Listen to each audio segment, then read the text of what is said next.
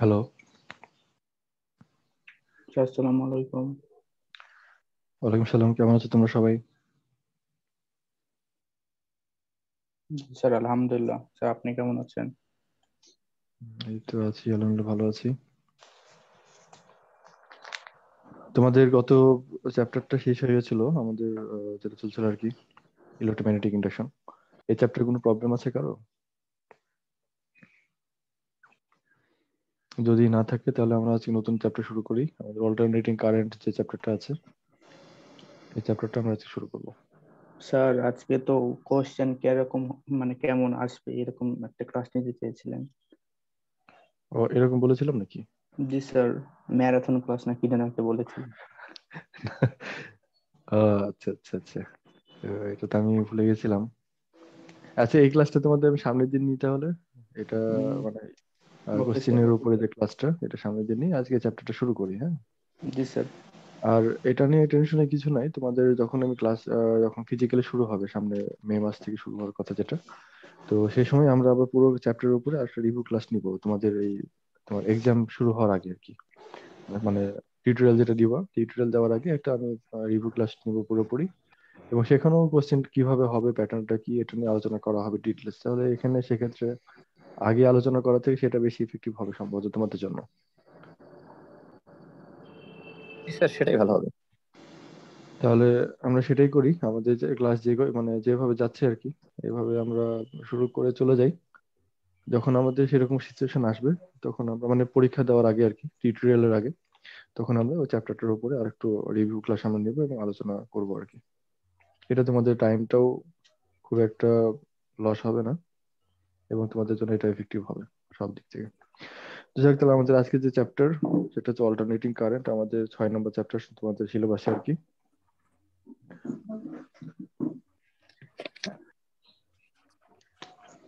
Chapter তো alternating current হিসাবে আছে, তাই না? তোমাদের কাছে কারও সিলেবাস আছে?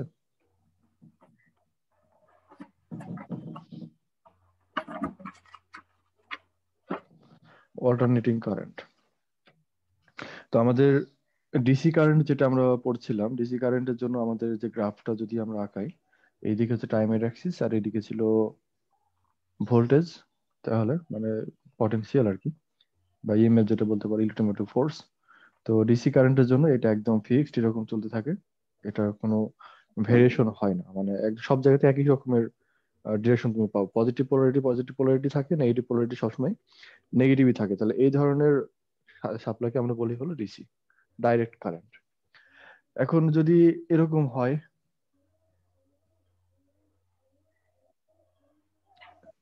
এটাকে আমরা এসি বলব না ডিসি বলব?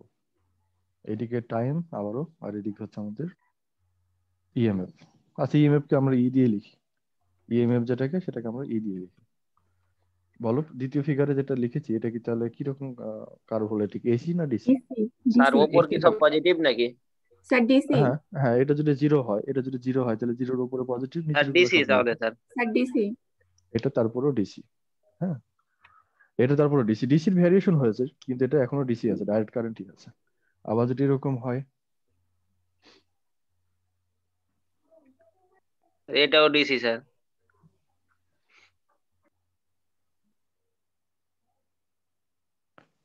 দেখো আমি এতগুলো ফিগার আঁকালাম। এই ফিগারে আমাদের সবগুলাই ডিসি তবে কোনোটা খুব ভালো মানে পিওর ডিসি কোনোটা পিওর না, কিছু আমাদের ফ্রিকোয়েন্সি এখানে থেকে গেছে আর কি। দেখো, এটা হচ্ছে আমাদের একদম পিওর ডিসি এক নম্বর ফিগার যেটা, এটা ডিসির মধ্যে অন্য কিছু নাই, একদম পিওর মানে নির্ভেজাল যেটা বলে আর কি। দুই নম্বর যেটা ফিগারে দেখছ, এটাতে ডিসি তবে এর মধ্যে কিছুটা ভ্যারিয়েশন আছে আর কি মানে এর যে ডিসির যে ইএমএফ ইএমএফ যে ভ্যালুটা এটা ফিক্সড না, এটা ভ্যারি করছে টাইমের সাথে। আমরা খুব ভালো মানে এটা সোর্স না। এরকম ডিসি কিছু পাওয়া যায়, যেটাতে দেখা যাচ্ছে ম্যাক্সিমাম মানে জিরো থেকে ম্যাক্সিমাম ভ্যালু পর্যন্ত গেল, আবার জিরোতে আসছে। কিন্তু এটা নেগেটিভের দিকে অল্টার করছে না। এটা তারপর একটা ডিসি এটা আমরা ডিসি বলব। আবার এখানে যেটা আছে, সেটা মোটামুটি ফিক্সড একটা ভ্যালু আছে। কিন্তু ওই ফিক্সড ভ্যালুর মধ্যে আবার এখানে একটা ওয়েভ শেপ দেখা যাচ্ছে। এটাও কিন্তু এসি তো এই যে প্রথম তিন নম্বর চার নম্বর যে ফিগারটা এই তিন, চার ফিগারে যে ডিসি এটার মধ্যে আমরা এটা বলি যে AC riding on a DC এখানে এসি কারেন্ট ডিসি কারেন্টের উপরে চড়ে বসে আছে, এমন একটা বিষয়। এসি রাইডিং অন ডিসি এটা বলা যাবে। এবং এই ধরনের যে ডিসি কারেন্ট এটাকে বলা হয় পালসেটিং ডিসি পালস থেকে আসছে পালসেটিং মানে এখানে তুমি পালস পাচ্ছ, মনে হচ্ছে যে ডিসির কোনো একটা এসির মতো একটা নেচার এখানে হয়ে যাচ্ছে। এরকম ধরনের ডিসি গুলোকে আমরা বলি হলো পালসেটিং ডিসি বা আর একটু ক্লিয়ারলি বলে পারে AC riding on a DC তো এগুলো ডিসি কারেন্ট এগুলো, এখানে ফিগারে যেগুলো আঁকিয়েছি কোনোটাই এসি কারেন্ট না, এগুলো সবগুলোই ডিসি কারেন্ট তো এসি কারেন্ট যদি হতে হয় আচ্ছা এগুলো সবগুলো হলো তাহলে আমাদের ফিগার এগুলো হচ্ছে ডিসি কারেন্টের আর যদি এসি কারেন্ট যদি হতে হয়, তাহলে আমরা এখন যে গ্রাফটা আঁকাবো, সেই গ্রাফটা হচ্ছে এসি কারেন্টের জন্য। এটাতে করে কারও কোনো প্রবলেম আছে? যে ফিগারগুলো বললাম যে পালসেটিং ডিসি তারপরে AC riding on a DC সমস্যা নাই সম্ভবত। আমরা তাহলে এটা মুছে দিই। আমরা ডিসি কারেন্ট নিয়ে অনেক কিছু পড়েছিলাম, এগুলো ডিসি থেকে আমরা সবকিছু চেঞ্জ করে এখন এসি কারেন্টের দিকে আমরা ঢুকছি। একদম শুরু থেকে শুরু করব যাতে কারও বুঝতে অসুবিধা না হয়। তাহলে এসি কারেন্টকে যদি আমরা লিখি মানে গ্রাফে যদি দেখাই, তাহলে গ্রাফটা দেখা যাবে ঠিক এরকম। তুমি এটা, এই এরকম একটা ভ্যালু দেখতে পারো এটার একটা পজিশন দেখতে পারো, এটা হচ্ছে আমাদের জিরো এটা হচ্ছে তোমার ধরলাম এটা প্লাস ফাইভ সামথিং কিছু একটা, এটা হচ্ছে মাইনাস ফাইভ মানে ফাইভ হলো এটার পিক ভ্যালু আর কি নেগেটিভের দিকে বা পজিটিভের দিকে যে সর্বোচ্চ সর্বোচ্চ যে পরিমাণ যায়, এটাকে আমরা বলি তার পিক ভ্যালু এবং দেখো, এখানে জিরো থেকে এইদিকে পজিটিভের দিকেও গেছে গ্রাফটা আবার নেগেটিভের দিকেও গেছে। এখানে নেগেটিভের দিকে ফাইভ পর্যন্ত না আসো যদি একটু পরিমাণও যেত মানে নেগেটিভের দিকে কিছু ভ্যালু যদি থাকতো, এটাকে আমরা এসি কারেন্টই বলতাম মানে অল্টারনেটিভ কারেন্টই বলতাম। তো অল্টারনেটিং অল্টারনেটিভ মানে হলো এই যে পোলারিটি এই পোলারিটিটা চেঞ্জ হয়। ধরো আমাদের পোলারিটি আমরা জানি যে আমাদের সাপ্লাই যখন দিই আমরা দুইটা কানেকশন থাকে। তোমরা বোর্ডে তোমরা যখন কানেকশন দেখো মানে আমরা বাসা বাড়িতে যে বোর্ডগুলো ব্যবহার করি ইলেকট্রিক বোর্ড সেখানে সকেট থাকে এবং এই ধরনের সকেট আর কি। তার মধ্যে একটাকে আমরা বলি হলো একটাকে বলি আমরা প্লাস একটাকে বলি মাইনাস তাই না? বা লেখা থাকে দেখবা যে একটা লেখা আছে পি আর একটা লেখা আছে এন এর কারণটা কি? ফেজ আর নিউট্রাল হ্যাঁ এটা এটার কারণ হলো এই পি মানে হলো ফেজ আর এর মানে হলো নিউট্রাল যদি প্লাস মাইনাস লেখা থাকে এই প্লাস মাইনাস লেখাটা ভুল। বুঝছ? এসি তে যখন আমরা আমরা প্লাস মাইনাস যেটা যদি বলি যে এটা প্লাস বা এটা মাইনাস এটা ভুল। কারণ এসি যেটা আমরা বলছি প্লাস এটা সবসময় প্লাস না এটা জিরো হয় মাইনাসও হয়। তাহলে যেটা যেটা আমরা বলব ঠিকভাবে সেটা হলো একটা হচ্ছে নিউট্রাল আর একটা হচ্ছে ফেজ এনটা হচ্ছে নিউট্রাল আর পিটা হচ্ছে ফেজ তাহলে এখানে যে গ্রাফটা দেখেছি, এই গ্রাফটা হচ্ছে পি এর। এখানে যে গ্রাফটা এটা সম্পূর্ণ ফেজের গ্রাফ হচ্ছে এটা।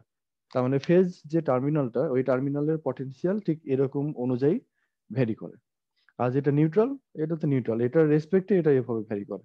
নিউট্রাল মানে হচ্ছে জিরো এর পটেনশিয়াল হচ্ছে জিরো যেটা আমরা ভূমির সাথে সাপ্লাই দিই, যেটাকে আমরা আর্থ বা গ্রাউন্ডের যে কানেকশনটা বলি, সেটাকে আমরা বলি হলো নিউট্রাল এটার পটেনশিয়াল হচ্ছে জিরো আমরা ধরে নিই জিরো এখন জিরো রেসপেক্টে এটা কোনো সময় জিরো কোনো সময় এটা প্লাস ফাইভ কোনো সময় আবারও জিরো কোনো সময় আবারও মাইনাস ফাইভ এইভাবে ভ্যারি করতে থাকে।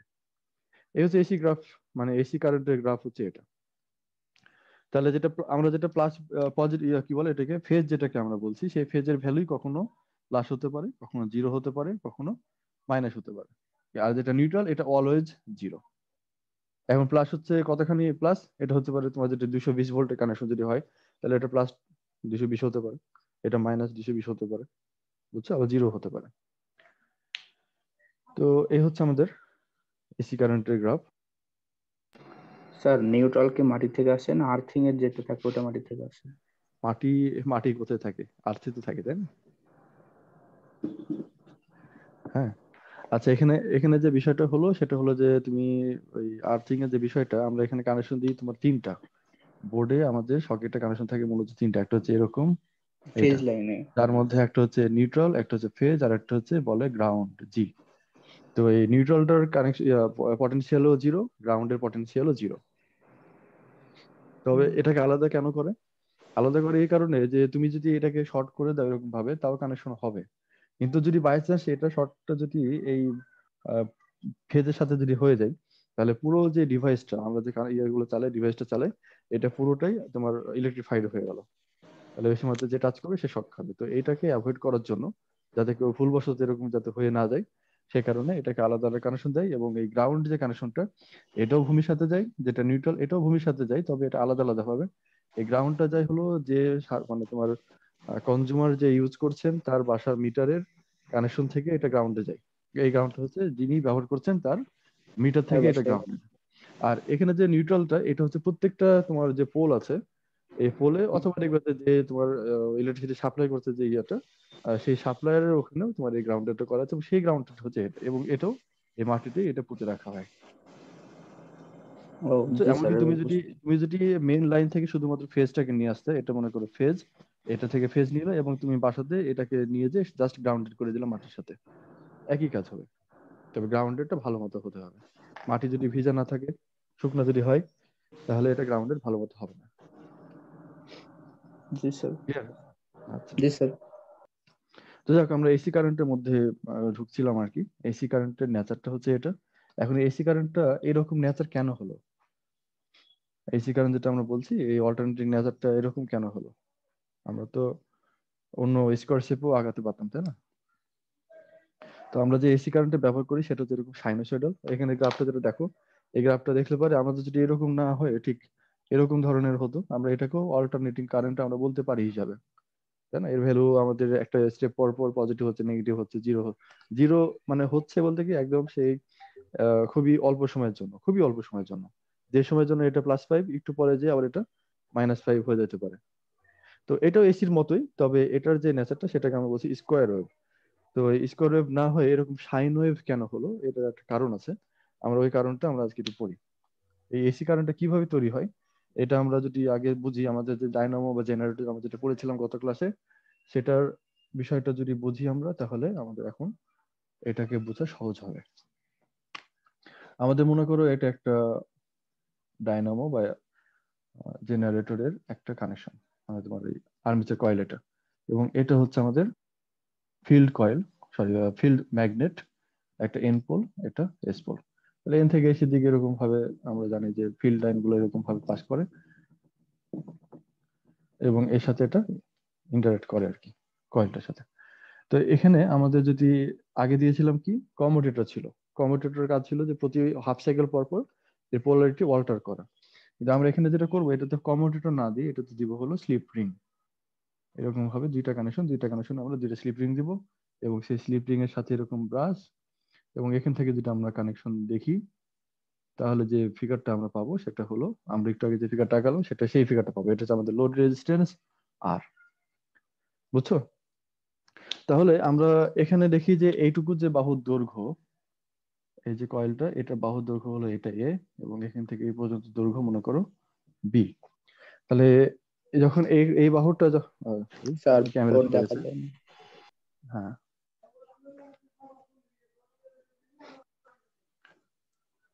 তো যখন এরকম ওই বাহুটা মানে এই যে ইয়াটা আছে মানে যে আর্মেচার কয়েল যেটা আছে এই আর্মেচার কয়েল যদি আমাদের এই ফিল্ড লাইনগুলোর সাথে যদি পারপেন্ডিকুলারলি থাকে তাহলে সেই সময় আমাদের যে ফ্লাক্সটা হবে সেই ফ্লাক্সের ভ্যালু কত হবে? Phi equals to A A কি? এ বি তাই না? এখানে বি এখানে এখানে এখানে যদি আমাদের যে ফিল্ডের ভ্যালু যেটা হয় ম্যাগনেটিক ইন্ডাকশন যদি হয় বি তাহলে এখানে জাস্ট হবে phi equals to A B. আর যদি এটা যদি পারপেন্ডিকুলার না হয় তাহলে সেখানে হবে phi equals to A B তোমরা জানো যে ফ্লাক্সের ভ্যালু যেটা হয় এটা এরকম। কি করে হলো এটা? এটা যদি কোনো একটা এরিয়া হয় এবং তার ওই এই পয়েন্টটা যদি আমাদের এটা হচ্ছে এরিয়া ডিরেকশন এটা হচ্ছে আমাদের ম্যাগনেটিক ফিল্ড ইন্ডাকশন বি এর ডিরেকশন এটা এবং এটা হচ্ছে এ তাই না? তাহলে এর মধ্যেকার অ্যাঙ্গেল হচ্ছে থিটা তাহলে ওই এ এর দিকে বি এর প্রজেকশন অথবা বি এর দিকে এর প্রজেকশন যেটাই বলো না কেন এটাকে আমরা বলি যে ওই এরিয়াতে ফ্লাক্স এই যে এরিয়াটা আমরা নিয়েছি এই এরিয়ার টোটাল ভ্যালু হচ্ছে এ এবং তার ডিরেকশন হচ্ছে এটা। এরিয়ার কিন্তু ডিরেকশন আছে এরিয়া একটা ভেক্টর কোয়ান্টিটি তোমরা জানো তো এটা তাই না? জি স্যার আচ্ছা আর বি ওই একই পয়েন্টে বি এর ভ্যালু হলো ম্যাগনেটিক ফিল্ড ইন্ডাকশনের ভ্যালু হচ্ছে বি এই দিকে এটা হচ্ছে এটা বি এর ডিরেকশন এখন এখানে যদি আমরা ফ্লাক্সে কত জানতে চাই ফ্লাক্স মানে হলো এর এখানে আমাদের যে ম্যাগনেটিক ফিল্ড লাইনগুলো আছে ইউনিট এরিয়াতে কতখানি।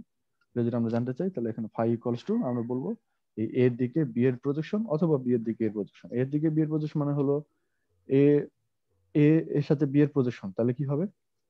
এর দিকে বি এর যার প্রজেকশন তার cos থিটা তাহলে বি এর মানে হলো, তাহলে বি cos থিটা তাহলে এ গণিত এ এর দিকে বি এর তাহলে এ গণিত বি cos থিটা আবার যদি বলে যে বি এর দিকে এর প্রজেকশন তাহলে বি এর দিকে এর প্রজেকশন মানে হলো এ cos থিটা তাহলে এ cos থিটা গুণ করব কার সাথে? বি এর সাথে।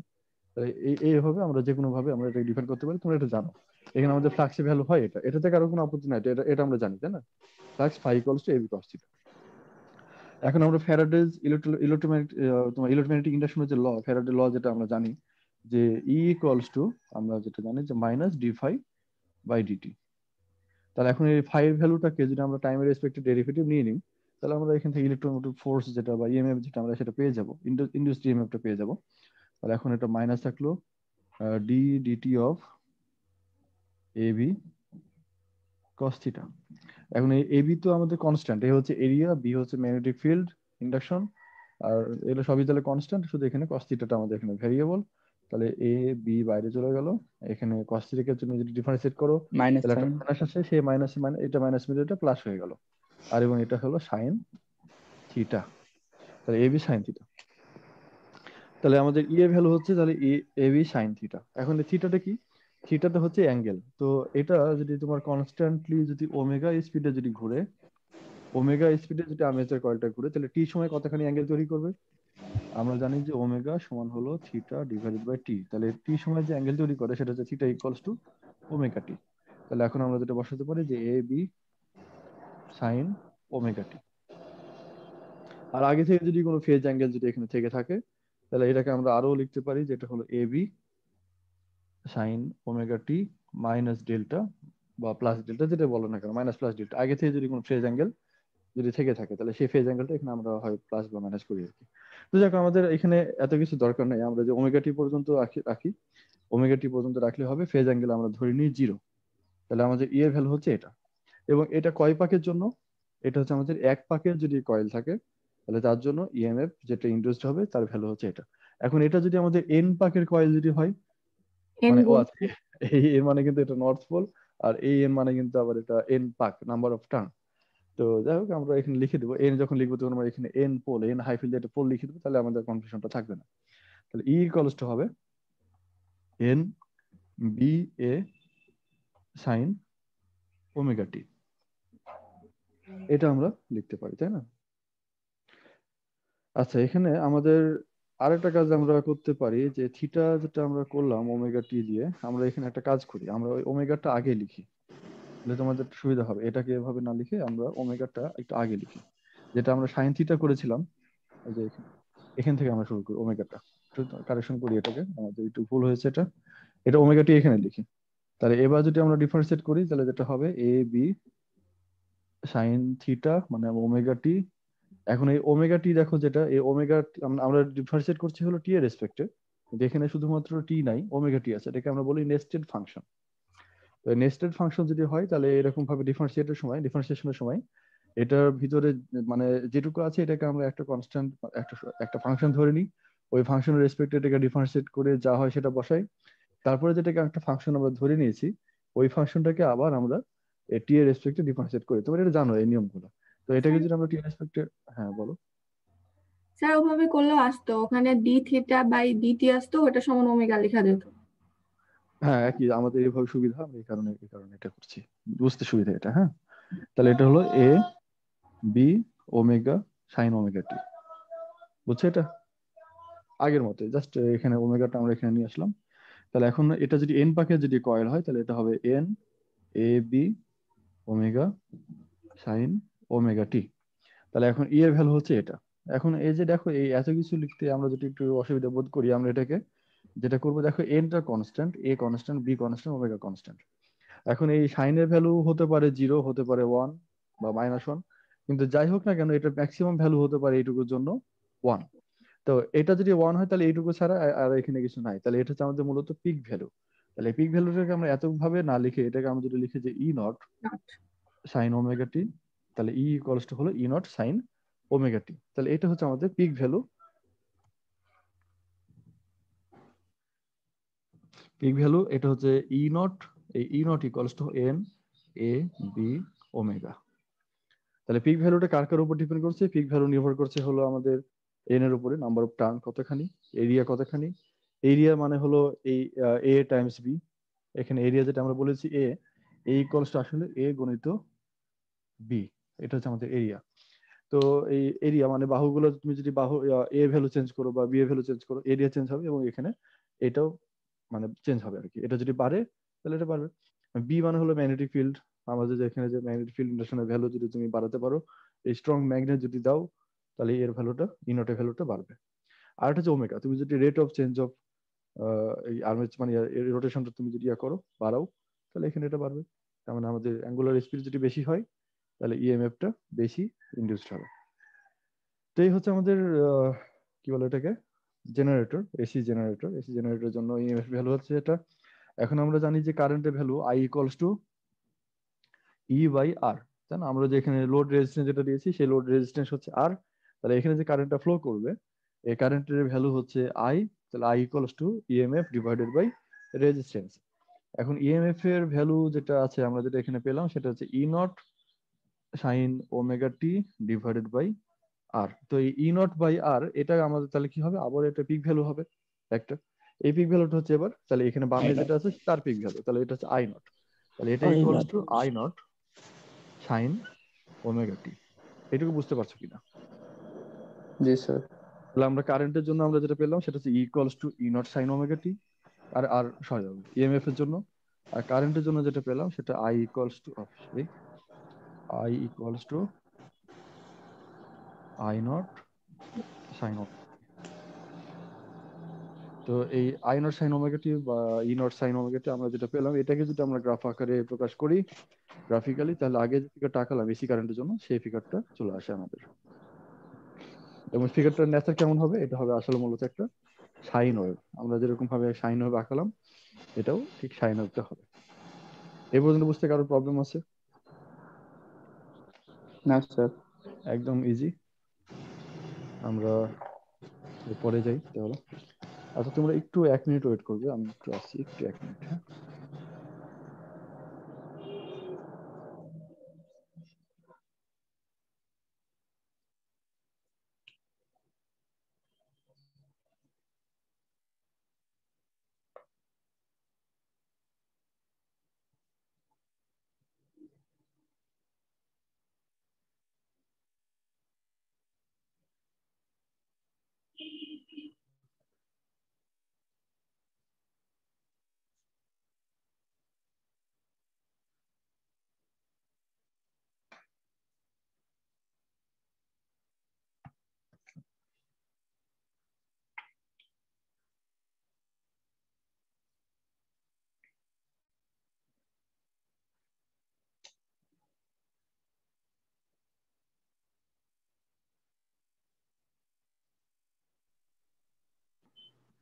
হ্যালো জি স্যার আচ্ছা ঠিক আছে। তাহলে আমাদের এখানে পিক ভ্যালু বিষয়টা তোমরা বুঝতে পারলে কি? Peak value of alternating current এবং এটার সাইনোসয়েডাল কেন হয়? সাইনোসয়েডাল হচ্ছে এই কারণে কারণ আমাদের যে ফ্লাক্সের ভ্যালুটা ফ্লাক্সের ভ্যালুটাই হচ্ছে আমাদের phi equals to A B cos theta তাহলে এখানে যদি আমাদের অলরেডি একটা সাইনোসয়েডাল ফাংশন আছে এটা যদি আমরা একই অ্যাঙ্গুলার স্পিডে যদি ঘোরাই তাহলে এটা যে রেট অফ চেঞ্জ এটাও আমাদের একটা সাইনোসয়েডাল ফাংশনই থাকবে, তাই না? সাইন ফাংশন হোক বা কস ফাংশন হোক, এটা অবশ্যই আমরা বলি সাইনোসয়েডাল ফাংশন মানে সাইনের মতো ভ্যারি করে। এই সাইনোসয়েডাল ফাংশনের জন্য বিষয়গুলো এরকম। এখন আমরা এই যে অল্টারনেটিং কারেন্ট যেটা আমরা নিলাম, এই অল্টারনেটিং কারেন্টের মিন ভ্যালু এবং আরএমএস ভ্যালুটা আমরা একটু দেখব।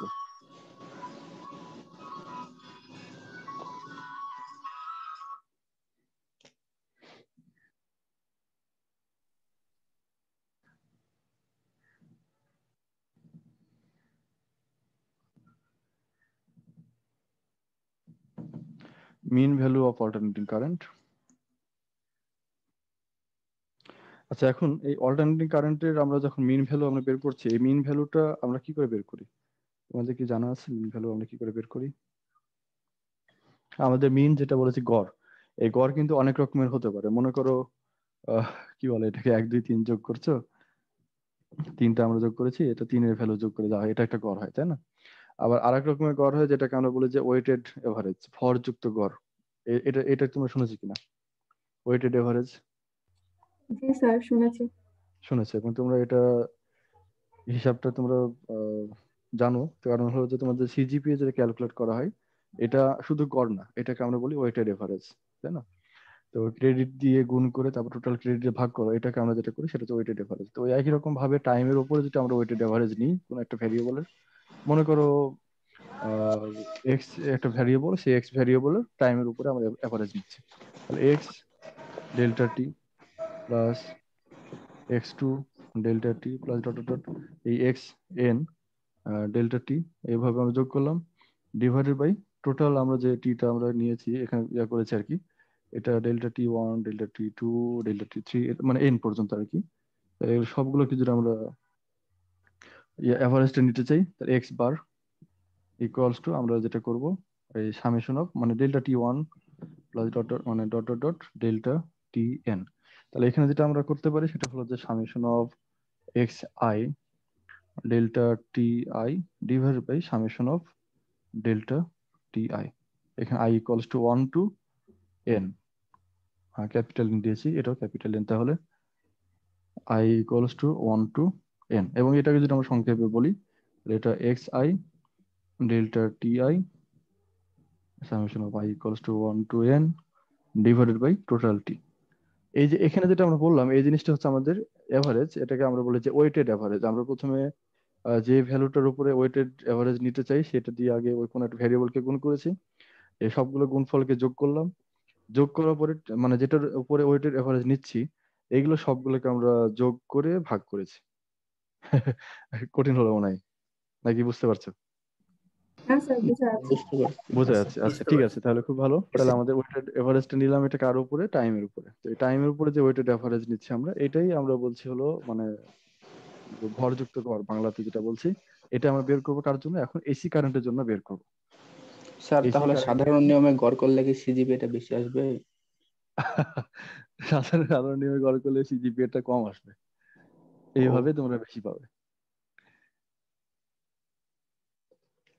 আচ্ছা যাও তাহলে সাধারণ নিয়মে করে না এটা মানে ক্যামেরা ভালো- একটা বিষয় তাই না?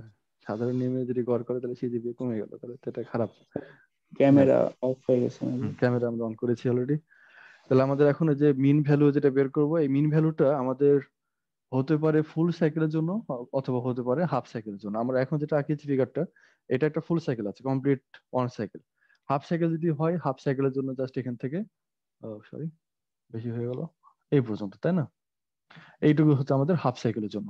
তাহলে এটা হচ্ছে জিরো এটা হচ্ছে টি বাই টু আর এটা হচ্ছে জাস্ট টি একটা কমপ্লিট ফুল সাইকেল এবং টি এর সাথে আমরা ওমেগার একটা রিলেশন জানি, যে omega equals to two pi divided by T? তো যখন আমরা টি হাফ যখন বলছি, এই টি হাফ মানে টি বাই টু এটা সমান হচ্ছে আমাদের তাহলে পাই বাই ওমেগা না sorry T by T by two তাই না? টি বাই ভুল হলো তো। টি হচ্ছে উপরে টু নিচে গেল পাই বাই ওমেগা এটা হচ্ছে পাই বাই ওমেগা তাহলে এই যেখানে আমরা এরকম টি বাই টু বলছি এটা আসলে আমরা পাই বাই ওমেগা দিয়েও বলতে পারি।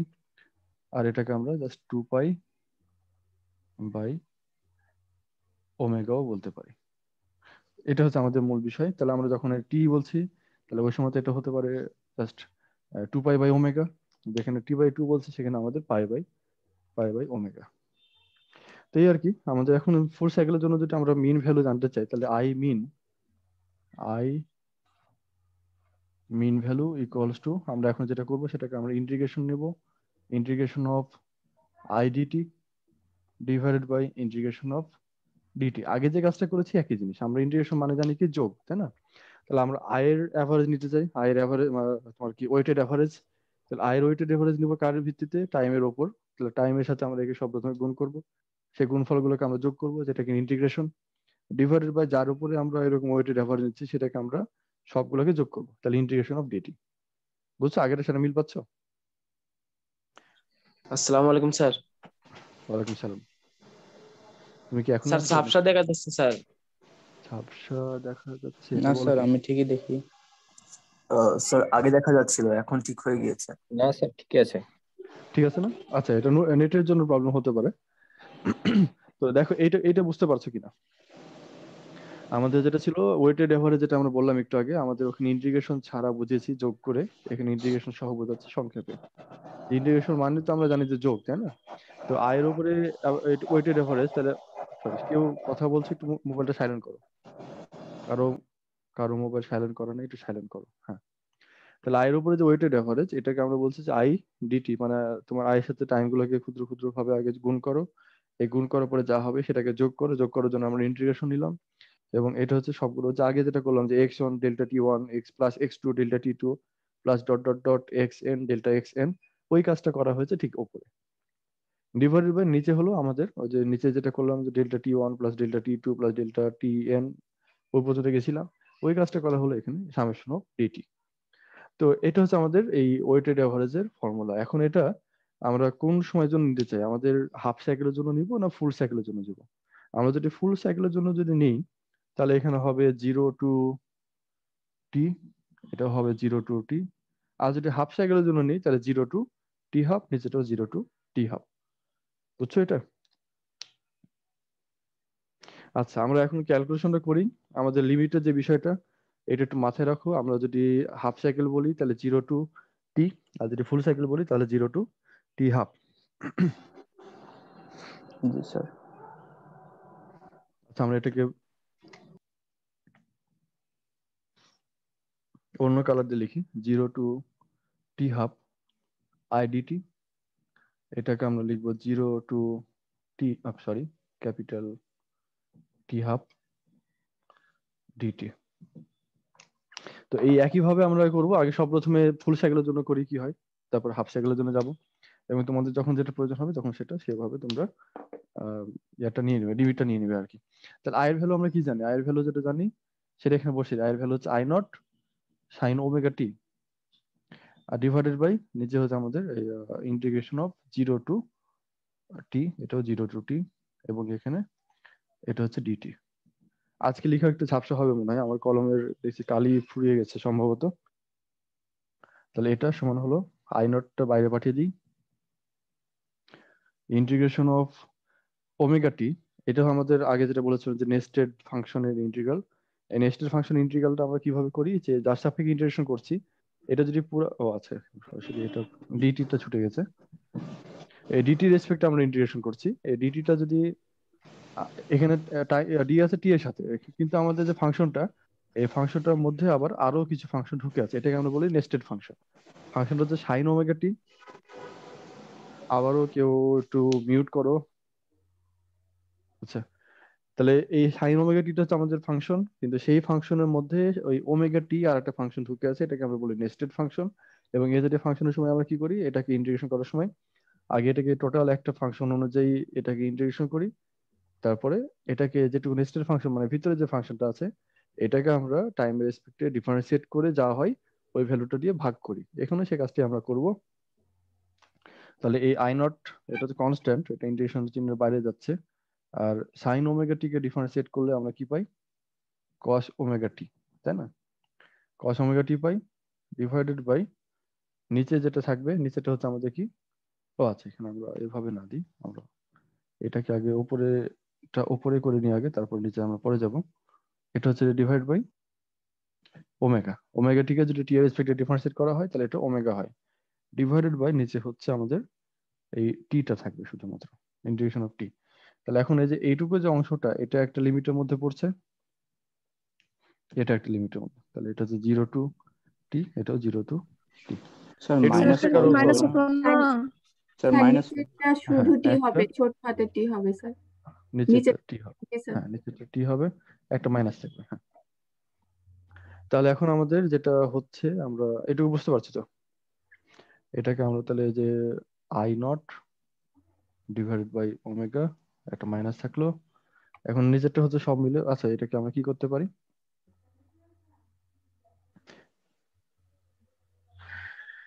নিচেরটাকে নিচেরটা হচ্ছে আমাদের টি তাই না? জাস্ট টি তাহলে টিটাকে আমরা এই ক্যাপিটাল টি মানে যদি তুমি লিমিট বসো তাহলে ক্যাপিটাল টি মাইনাস জিরো তাহলে এই টিটা আমরা বাইরে নিয়ে নিতে পারি। আর ভিতরে যেটা থাকছে ভিতরে হচ্ছে আমাদের cos omega t minus oh sorry capital omega T জায়গাতে আমরা একটা লিমিটটা বসিয়ে দিই। Omega capital T minus zero তাই না? ও সরি কস জিরো সরি ভুল বলছি। কস জিরো এবার ঠিক আছে। তাই না? দেখো, আমরা এই, এটা তো আমাদের নিচে আছে, এইটুকু অংশটা। এটার যদি আমরা আপার লিমিট বসাই, তাহলে এটা টি হচ্ছে ক্যাপিটাল মাইনাস লোয়ার লিমিট বসালাম, তাহলে T minus zero T minus zero হচ্ছে। এটা ওমেগা ছিল, এটা নিচে নামিয়ে নিলাম, তাহলে নিচে নামিয়ে নিলে পরে এটা নিচে থাকল, এর সাথে গুণ আকারে। আইনটা ছিল উপরে গুণ আকারে আইনটা উপরে রেখেছি, একটা মাইনাস ছিল মাইনাস রেখেছি। শুধু তাহলে এই কসের ফাংশনটা বাকি ছিল কস ওমেগা টি আপার লিমিট বসিয়ে দিয়েছি মাইনাস লোয়ার লিমিট বসানো হলে পরে কস জিরো এখন এই কস ওমেগা টি এই ওমেগা টি সমান কত? ওমেগা টি তাহলে ওমেগা সমান হলো আমরা জানি যে two pi divide by T into T তাহলে কস ওমেগা টি মানে হলো আসলে এটা হচ্ছে টু পাই তাহলে কস টু পাই তাহলে এখানে আমরা আসলে লিখতে পারি এই ওমেগা টি এর জায়গাতে এটা হচ্ছে টু পাই এই টু পাই ভ্যালু কত? কস টু পাই এর ভ্যালু তোমরা কি জানো কস টু পাই ভ্যালু কত? তিনশো ষাটের value one one one cos two pi এর ভ্যালু হচ্ছে ওয়ান এটা যদি মনে না থাকে গ্রাফটা মনে রাখবা। এরকম, তাই না? এরপর আরও পরে সাইকেল আরও কমপ্লিট হবে। এটা হচ্ছে তাহলে জিরো ডিগ্রি এটা নাইনটি এটা ওয়ান এইটটি তাই না?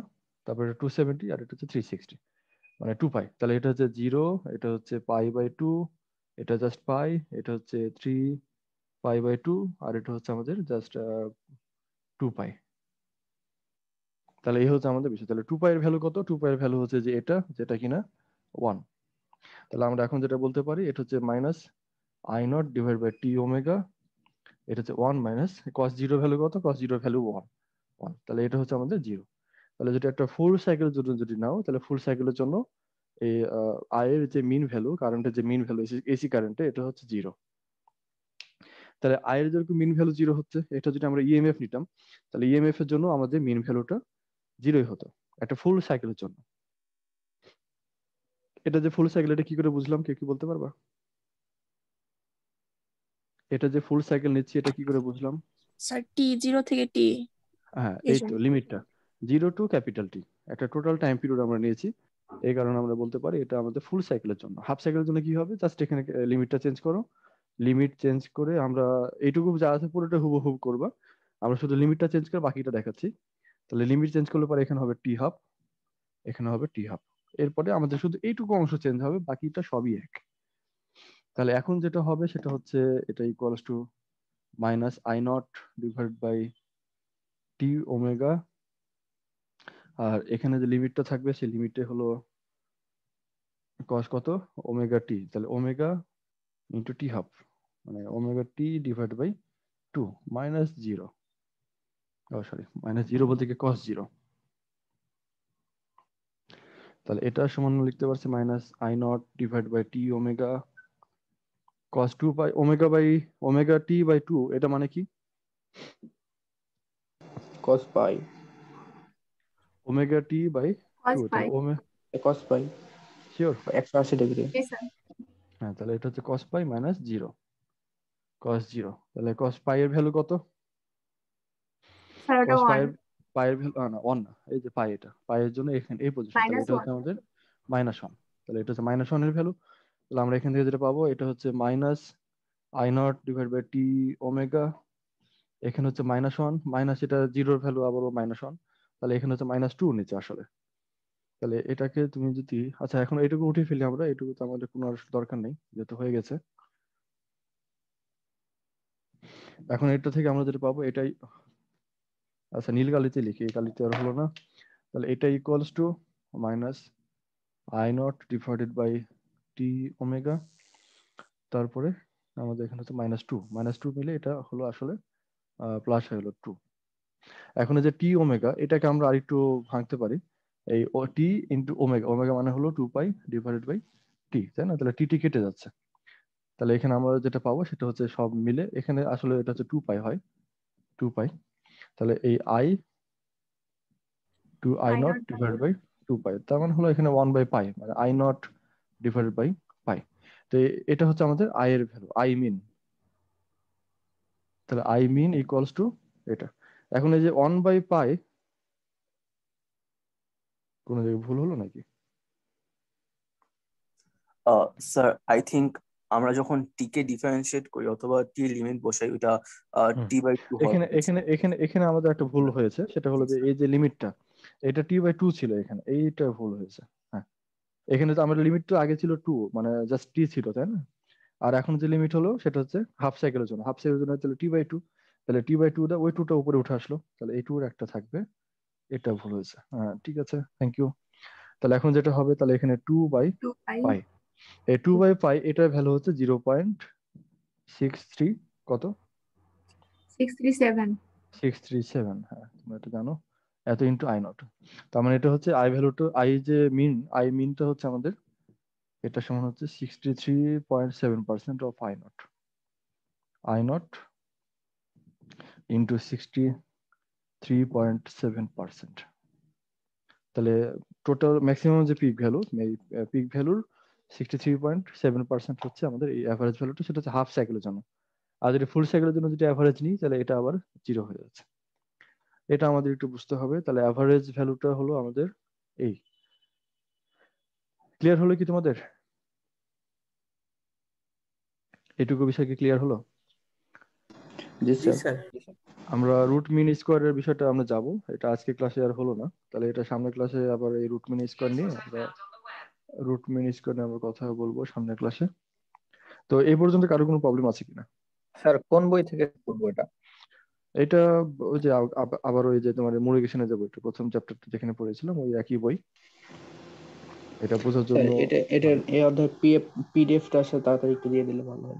হ্যাঁ পিডিএফ তো আমি দিয়ে দিই তোমার ক্লাস যখন আমি শেষ করব ওই ক্লাস মানে যে ক্লাসটা যেদিন শেষ করছে ওই ক্লাসটা ওই দিন তোমার পিডিএফ পেয়ে যাবে। একসাথে সবগুলো দিব না। যেদিন যেটা শেষ হবে ওই দিন ওটা দিয়ে দিব। তো এটা আজকে পেয়ে যাবে আশা করি। তো ঠিক আছে কারও কোনো প্রবলেম না থাকলে আমরা তাহলে আজকে মিটিং ক্লোজ করি। সবাই ভালো থেকো। আর কোন বই নামটা আবার বললে ভালো হতো? এটা হচ্ছে মুরুগেশনের বই। ইলেকট্রিসিটি আর ম্যাগনেটিজম আর মুরুগেশন। স্যার বইয়ের নামটা যদি হচ্ছে আপনি আমাকে মানে হচ্ছে স্যার ওই শীট দেওয়ার সময় লিখে দিতেন তাহলে সুবিধা হতো। স্যার বোঝা যাচ্ছে না।